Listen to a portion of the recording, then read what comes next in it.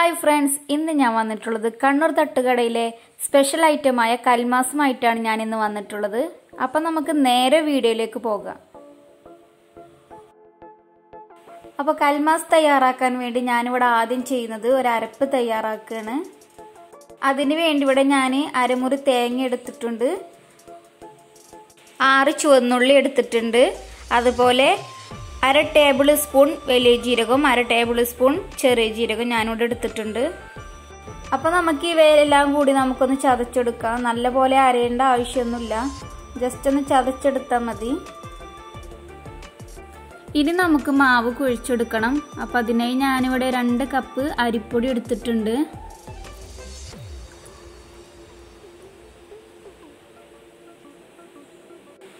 ഇനി നമുക്ക് നേരത്തെ തയ്യാറാക്കി വെച്ച അരപ്പ് നമുക്ക് ഇതിലേക്ക് ചേർത്ത് കൊടുക്കാം. എന്നിട്ട് നമുക്ക് ഇതുപോലെ കൈകൊണ്ട് നന്നായി മിക്സ് ചെയ്ത് കൊടുക്കുക.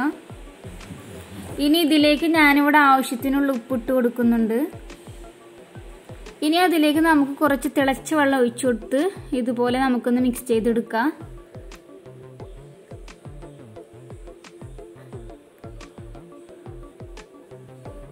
ഇനി മാവ് നമുക്കൊന്ന് റെസ്റ്റ് ചെയ്യാൻ വെക്കുക ചൂട് പോയതിന് ശേഷം നമുക്ക് കൈകൊണ്ടൊന്ന് കുഴച്ചെടുക്കണം.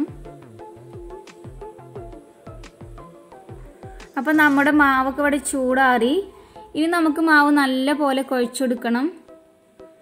നമ്മൾ നല്ല പോലെ മാവ് കുഴച്ചെടുത്താലുള്ളൂ നമ്മുടെ കൽമാസ് സോഫ്റ്റ് ആവുക.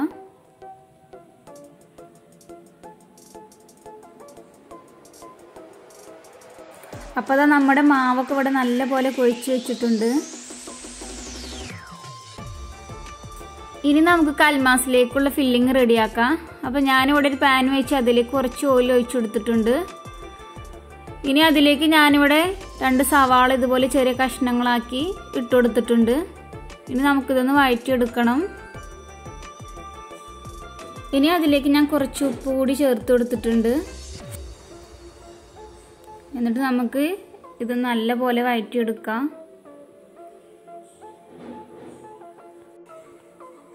അപ്പോൾ നമ്മുടെ സവാളയൊക്കെ ഇവിടെ ബ്രൗൺ കളർ ആയിട്ടുണ്ട്. ഇനി അതിലേക്ക് ഞാനിവിടെ കുറച്ച് വെളുത്തുള്ളിയും ഇഞ്ചിയും ഞാൻ ചതച്ചത് ഇട്ട് കൊടുത്തിട്ടുണ്ട്. അപ്പോൾ അതിന്റെ ഒരു പച്ചമണം മാറുന്നത് വരെ നമുക്കിതൊന്ന് വഴറ്റിയെടുക്കാം.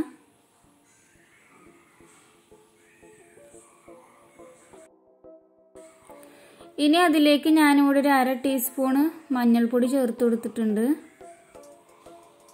അതുപോലെ അര ടീസ്പൂൺ മുളക് പൊടി ചേർത്ത് കൊടുത്തിട്ടുണ്ട്. പിന്നെ കാൽ ടീസ്പൂണ് ഗരം മസാലയും ചേർത്ത് കൊടുത്തിട്ടുണ്ട്. അതുപോലെ കാൽ ടീസ്പൂൺ ചിക്കൻ മസാലയും ചേർത്ത് കൊടുത്തിട്ടുണ്ട്. ഇനി നമുക്ക് നമ്മൾ നേരത്തെ വേവിച്ച് വെച്ച ചിക്കന് നമുക്ക് ഇതുപോലെ ചേർത്ത് കൊടുക്കാം.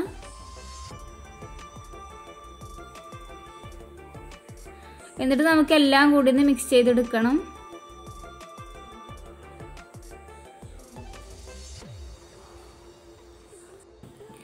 ഇനി നമ്മുടെ ഫില്ലിങ്ങിലേക്ക് ഞാനിവിടെ കുറച്ച് കറിവേപ്പില ഇട്ട് കൊടുത്തിട്ടുണ്ട്.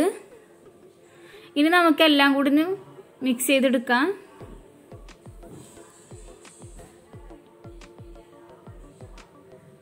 അപ്പോൾ നമ്മുടെ ഫില്ലിങ് ഇവിടെ റെഡി ആയിട്ടുണ്ട്. ഇനി നമുക്ക് ഫ്ലെയിം ഓഫ് ചെയ്യാം. ഇനി നമുക്ക് കൽമാസ് തയ്യാറാക്കി എടുക്കാം അപ്പം ഞാൻ കയ്യുമ്പോൾ കുറച്ച് ഓയിലൊക്കെ പുരട്ടിയിട്ടുണ്ട്. ഇനി ഇതുപോലെ നമ്മുടെ മാവ് ബോൾ ഷേപ്പിലാക്കിയിട്ട് നമുക്ക് കയ്യിൽ വെച്ച് കൊടുക്കാം. എന്നിട്ട് ഇതുപോലെ നമുക്കൊന്ന് പരത്തി കൊടുക്കാം. അപ്പോൾ അത് ഇതുപോലെ ഞാൻ പരത്തി വെച്ചിട്ടുണ്ട്. ഇനി അതിന്റെ നടുവിലേക്ക് നമ്മുടെ ഫില്ലിങ് നമ്മൾ വെച്ച് കൊടുക്കുക.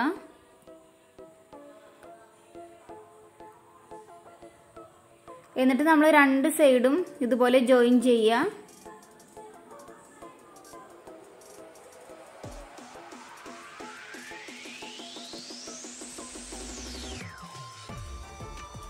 നമ്മളിത് ഒരു ഉന്നക്കായുടെ ഷേപ്പിലാണ് ഇപ്പോൾ ചെയ്യുന്നത്.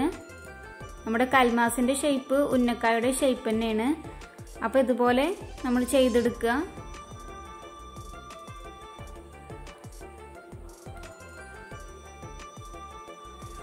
അപ്പോൾ അതാ ഇതുപോലെ ചെയ്തെടുക്കുക. ഇനി ഞാൻ ഒരു പ്രാവശ്യം കൂടി ഒന്ന് കാണിച്ചു തരാം.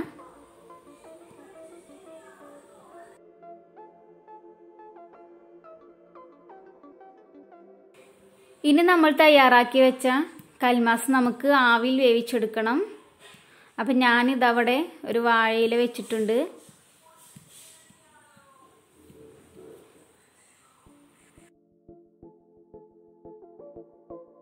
ഞാനിവിടെ കുറച്ച് ഓയിൽ ഒഴിച്ചു കൊടുത്തിട്ടുണ്ട് നമ്മുടെ വാഴയിലിന്റെ മുകളിലേക്ക്.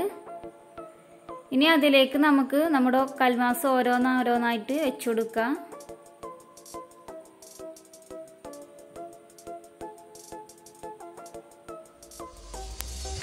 ഇനി നമുക്ക് അതൊന്ന് അടച്ചു വെക്കാം.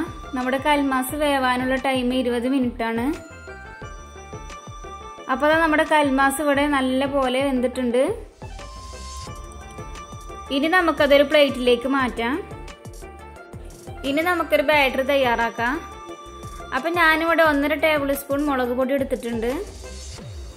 ആവശ്യത്തിനുള്ള ഉപ്പ് ഇട്ടു കൊടുത്തിട്ടുണ്ട് ഇനി അതിലേക്ക് അര ടീസ്പൂൺ ഗരം മസാലയും കൂടി ചേർത്ത് ഞാനിവിടെ നന്നായി മിക്സ് ചെയ്തിട്ടുണ്ട്.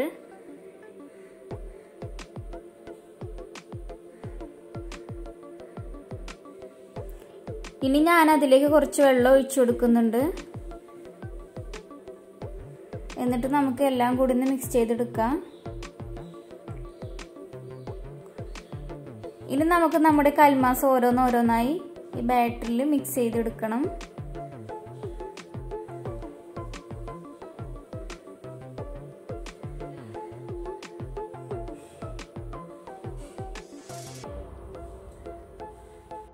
അപ്പം ഞാനിവിടെ എല്ലാതും മിക്സ് ചെയ്തെടുത്തിട്ടുണ്ട്. ഇനി നമുക്കിതൊന്ന് ഫ്രൈ ചെയ്തെടുക്കണം. അപ്പം ഞാനിവിടെ കുറച്ച് ഓയിൽ ഒഴിച്ചിട്ടുണ്ട്. അപ്പം നമ്മുടെ ഓയിൽ ഇവിടെ ചൂടായിട്ടുണ്ട്. അപ്പം ഞാനിവിടെ കൽമാസ് ഇട്ട് കൊടുക്കുകയാണ് അപ്പം നമ്മുടെ കൽമാസ് ഫ്രൈ ചെയ്യാൻ നമുക്ക് കൂടുതൽ ഓയിലൊന്നും ആവശ്യമില്ല. നമുക്ക് ജസ്റ്റ് രണ്ട് സൈഡൊന്ന് ഫ്രൈ ചെയ്തെടുത്താൽ മതി.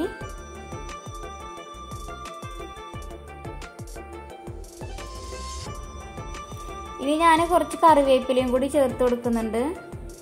അപ്പം നമ്മുടെ കൽമാസ് നല്ല ടേസ്റ്റ് ആവും.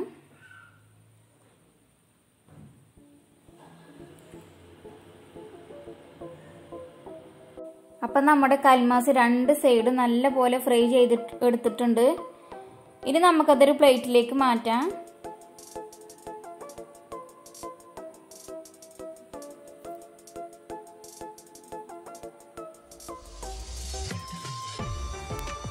അപ്പം നമ്മുടെ കൽമാസ് ഇവിടെ റെഡി ആയിട്ടുണ്ട്. ഒരു അടിപൊളി സ്നാക്കാണ് അപ്പോൾ തീർച്ചയായും എല്ലാവരും ട്രൈ ചെയ്ത് നോക്കുക.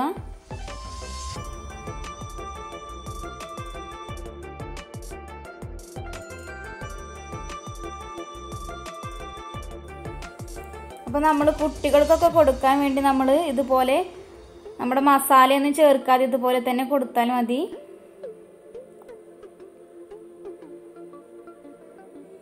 അപ്പം എല്ലാവരും തീർച്ചയായും ഇതൊന്ന് ട്രൈ ചെയ്ത് നോക്കുക. അപ്പോൾ ഇതാണ് നമ്മുടെ കണ്ണൂർ തട്ടുകടയിലെ സ്പെഷ്യൽ ഐറ്റമായ കൽമാസ്.